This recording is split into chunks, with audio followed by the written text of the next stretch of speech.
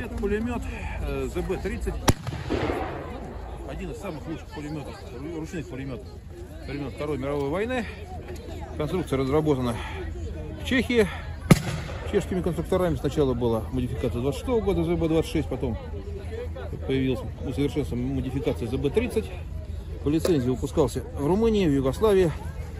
Вот, и на вооружении состоял, э, кроме югославской, чешской и румынской армии, еще и вермахте, после того, как Чехия была захвачена. Вот, достаточно простая и удобная машинка. Магазин на 20 патронов. Легко расстегивался. Вот. Прицел из-за того, что магазин имел верхнее расположение, смещен в левую сторону. И мушка, и прорезь.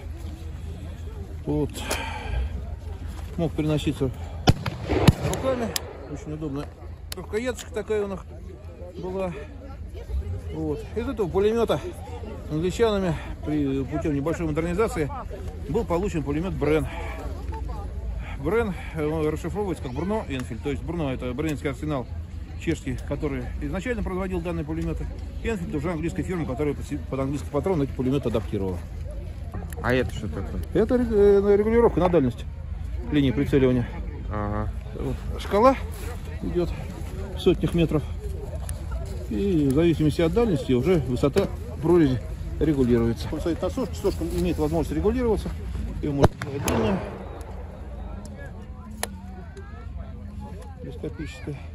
Что тоже очень удобно. Если глубокий снег, либо высокая трава, его можно поставить выше. А это вот на, на прикладе вот это что за На штуковина? прикладе это тоже очень интересная вещь. Это так называемая третья рука пулеметчика. Так, сейчас, к сожалению, она немножко застыла у нас. Плечевой упор.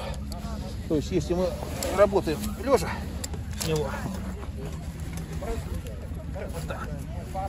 мне его не надо держать для прицеливания. Я могу это рукой магазины перекидывать, еще что-то делать. Все висит. Я вот так придерживать уже не надо. Ну, Очень простая вещь, но очень удобная. Облегчает работу.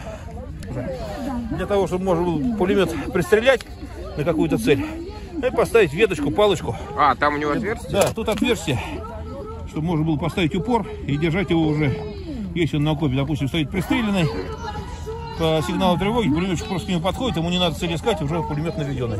Ага.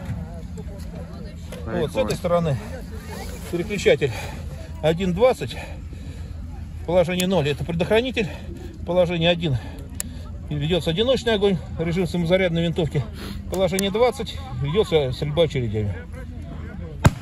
Мгм. Крутая машина Простая вообще. функциональная вещь. Вот. Но она редкая, да, я так понимаю? Но она сейчас редкая. Во время Второй мировой, ну, достаточно ходовой была. Не то, чтобы на первой линии, на первой линии нем- немцы все-таки на своей части э, направляли МГ-34, потом 42.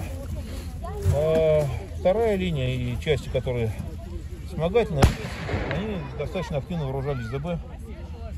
Благодаря тому, что он очень простой, надежный, очень легко разбирается, легко собирается. А у него сменных стволов нет, да? Он не Нет, перегревается? почему? ствол? Есть?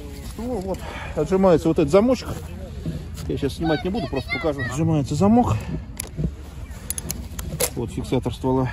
И ствол просто вынимается вперед. Меняется. Вот. Также легко извлекается затворная рама.